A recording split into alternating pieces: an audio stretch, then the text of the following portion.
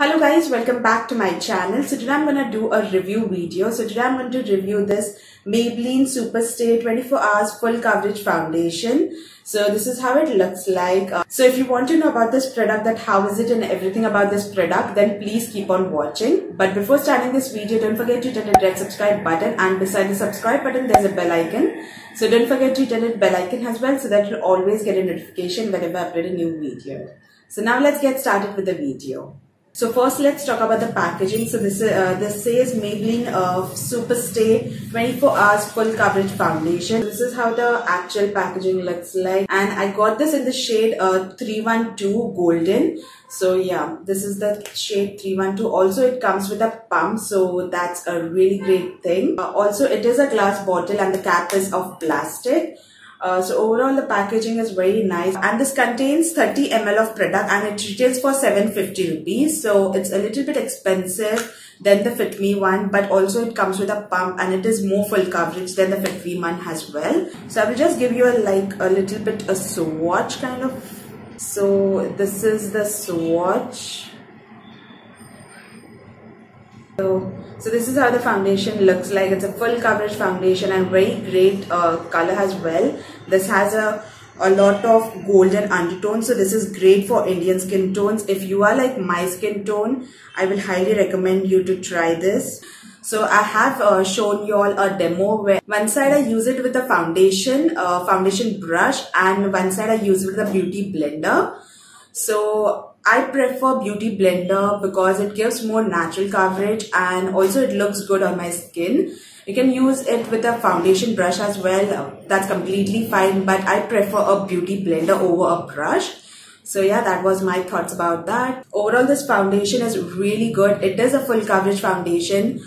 Uh, I just used one layer. You can also build it up, but I think one layer is more than enough. I don't have that much of like scars and all on my skin and it is a full coverage. So I think one, one pump will be more than enough. Like one layer of foundation will be more than enough. I don't think you can, uh, you need to layer it up, but you can definitely layer it up if you want. This foundation is best for oily skin uh, girls. Like I have oily skin, so this is great for oily skin.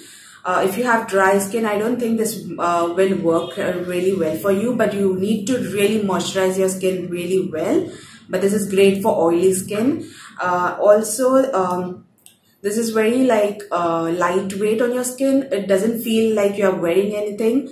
So it's a very good foundation. It lasts for about like uh, 8 to 10 hours without like touch up or anything it is a really good foundation. Also one thing you have to keep in mind that this does oxidize a little bit so you have to go a little uh, like one or two shade lighter. So this is the shade uh, 312 and it does uh, slightly oxidizes on my skin as well but I was knowing that so that's the reason I got a little bit light shade.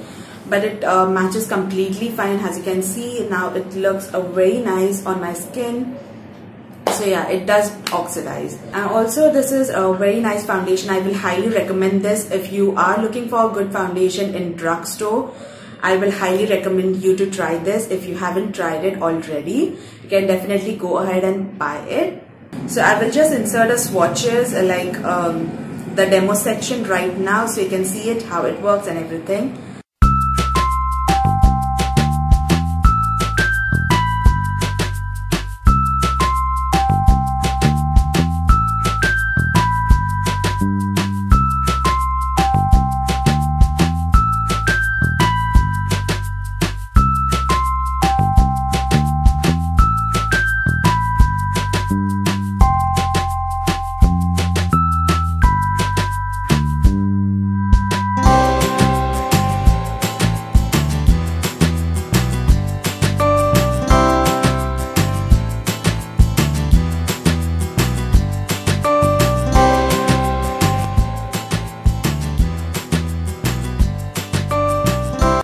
That's it with the video. I hope you like this video. If you did like this video, then please hit on the like button and also don't forget to subscribe to my channel for more such videos like this. And beside the subscribe button, there's a bell icon. So don't forget to hit that bell icon as well. So that you'll always get a notification whenever I upload a new video. So that's it. See you in my next one. Bye-bye.